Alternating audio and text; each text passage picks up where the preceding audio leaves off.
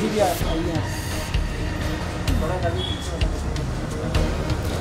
यहाँ बताइए केले के साइज़ का लोहे का सरिया था उसके पास में। तो उसको यहाँ फंसा करके करीब दस से बारह मिनट तक कोशिश करती उसके बाद में जो नक्का होता है, उसी नक्के को उसने तोड़ करके शटर बोला है, ताला नहीं तोड़ना है, ताले को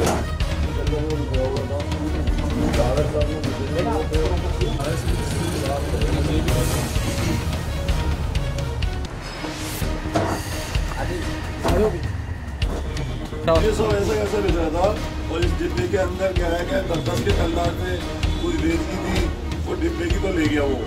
और इसके अंदर जो खुले चीज़ें पड़े थे ना वो किताब के नीचे दबे हुए थे वो रह गए। इसको भी खोल गया इसको गेट को भी सब कुछ खोल का देख के सब खुला हुआ मिला सारा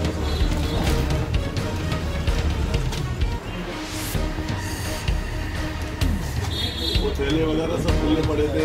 वाले में भी हाँ ये सारा सामान हटा सकते हैं हालाँकि हम लोग खोलते नहीं थे। छोटा मोटा जो भी गिफ्ट आइटम होता है या वैसा सामान जो आमतौर पर काम नहीं आता कभी है तो हैं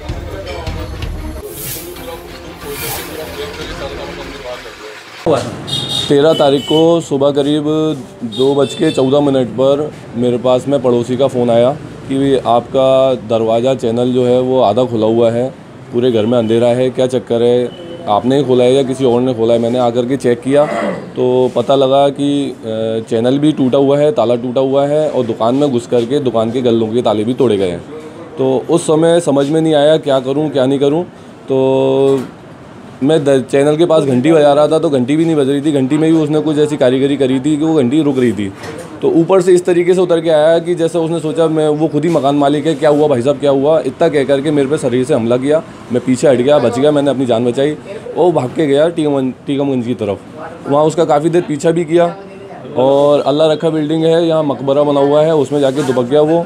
हम लोग आगे की तरफ़ से उसको ढूंढ रहे थे पर वो पीछे की तरफ़ से निकल के भाग गया वो। अभी तक तो कोई नुकसान हमें मालूम नहीं पड़ रहा है सही समय पर जाग हो जाने के कारण।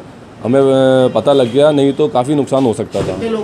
ये एक ही था। अगर एक से ज़्यादा होते तो शायद हो सकता है कोई जन हानि हो सकती थी। और हो सकता है कि आसपास कहीं उसके मुखबिर भी खड़े हों। काफ़ी देर तक उसने ताला तोड़ने की प्रयास किया था। बहुत मुश्किलों से टूटा था। पर उस दौरान कोई भी पुलिस गश्त नहीं थी। मैं चाहता हूँ प्रशासन से कि शहर में पुलिस व्यवस्था बनाई जाए। नहीं पुलिस की लापरवाही गश्त के तौर पर है, पर उन्होंने समय पर आकर के, काफ़ी अच्छी संख्या में आकर के उन्होंने सहूलियत सहयोग तो किया था उन्होंने। मेरा नाम मनीष जैन है। जी, मेरी टायर की दुकान है और केसरगंज निवासी हूँ और? हाँ रिपोर्ट दर्ज करा दी है। और केसरगंज पुलिस चौकी पे गए थे तो वहाँ पे कोई भी अधिकारी, कोई भी पुलिस वाला मौजूद नहीं था, इसलिए हमें फिर कलेक्टर पुलिस चौकी पे जाना पड़ा था। मनीष जैन।